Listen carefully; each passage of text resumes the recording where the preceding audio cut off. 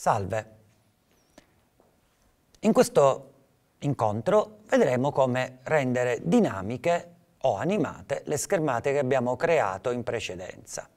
Le schermate che abbiamo creato in precedenza sono molto semplici, possono essere rese molto complesse dalla vostra fantasia e dai vostri bisogni, però sono ferme, non vengono quindi aggiornate dal programma man mano che scorre il tempo. Questo Può essere utile, però è molto limitativo. Per questo adesso vedremo come processing invece ci consente di creare delle schermate interattive e variabili. Per fare questo dobbiamo introdurre quella che è la struttura generale di un programmino dinamico in processing.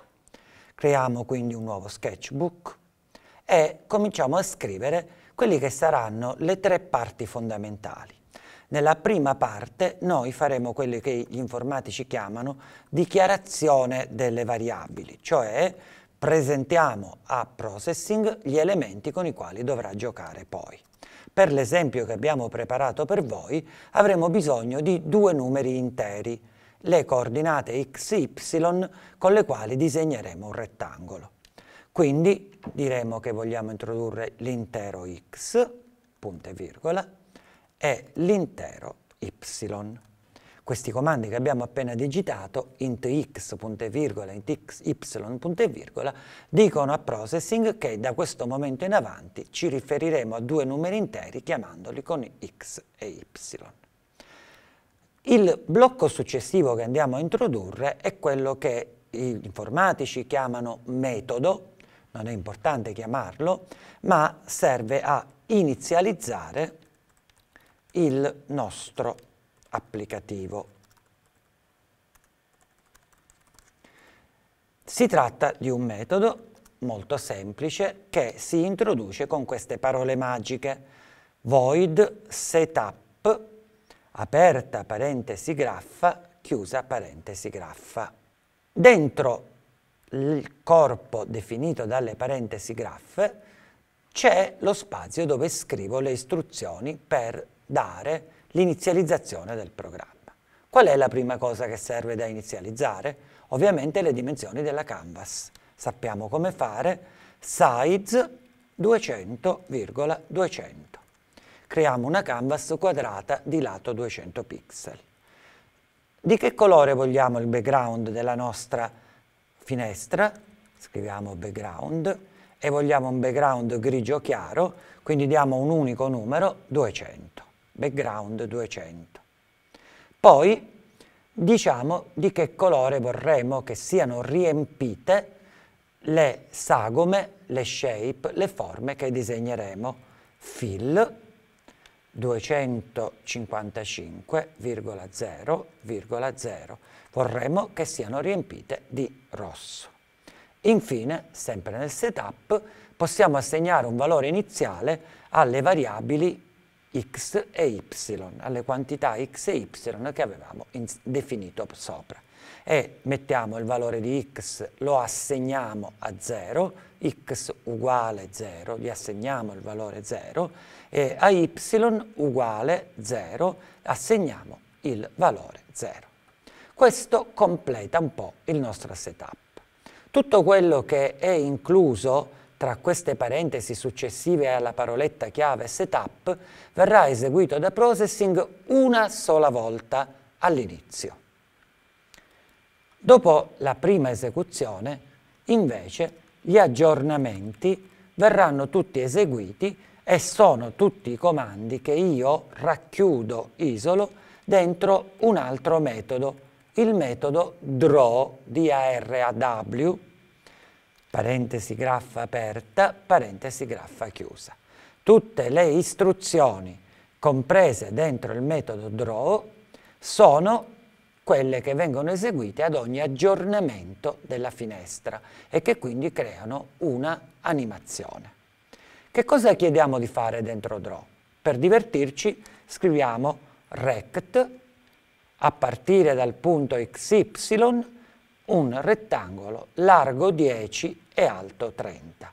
Di che colore verrà disegnato questo nostro rettangolo? verrà disegnato di colore rosso e verrà ridisegnato ogni volta dal comando draw. Ma se ogni volta che lo ridisegniamo aggiornassimo il valore di x e di y, questo rettangolo ad ogni rinfresco cambierà posizione, verrà disegnato in una nuova posizione. Aggiorniamo quindi il valore di x e di y. Diciamo che x deve essere incrementato, supponiamo, di un certo numero di pixel, 5 pixel. E che y deve essere aggiornato di un certo numero di pixel, 3 pixel. Sono ovviamente valori arbitrari. Diamo l'invio e vediamo cosa accade.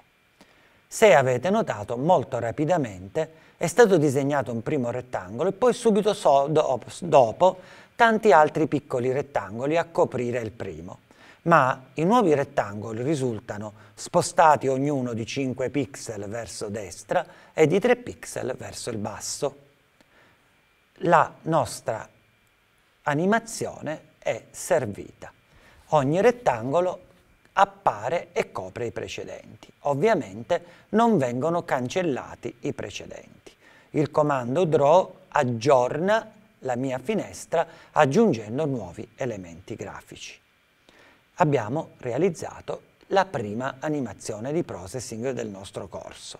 Possiamo dirci abbastanza soddisfatti. Ma se volessimo cancellare il precedente rettangolo ogni volta che mettiamo un nuovo rettangolo, cosa dobbiamo dire a processing di fare? Bene, questo è realizzato molto semplicemente con il comando background. Se guardate in setup abbiamo messo il comando background 200 che viene eseguito una sola volta.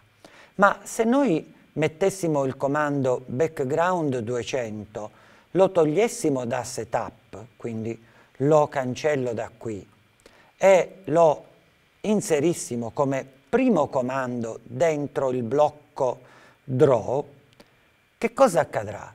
Ad ogni esecuzione del blocco draw, quindi ad ogni rinfresco dello schermo, il background viene aggiornato.